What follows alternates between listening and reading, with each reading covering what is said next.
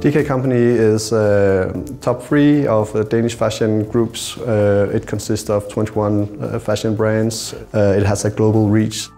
I'm responsible for the commerce platform here at DK Company Online. Um, uh, our commerce system is a system carried out of the webshop, of course, but also our email automation tools and the master data connected to it, including our predictive intelligence system where we collect data for our customers. Currently, we're using Raptor Smart Advisor on the web shop, where we collect the data and also use it for recommendation. And we have it in our marketing optimization tool. We use it on the website to, to sort the, the product pages so we can serve the best possible sorting algorithm for you. So the products you got served is the one who is actually the one you would like to see. The first uh, couple of tests we did with, our, with using Raptor into our emails actually uh, gave us uh, results that we got uh, plus 3% in conversion on a regular email without a discount. And that, of course, is a huge amount of money uh, when you send out for close to 600,000 people.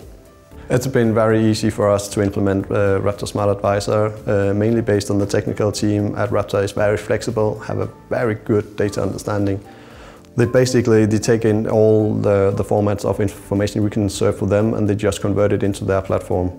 So um, it's been a very pleasant journey uh, working with them, always focusing on a good service, fast deliveries. So we've been very happy with that.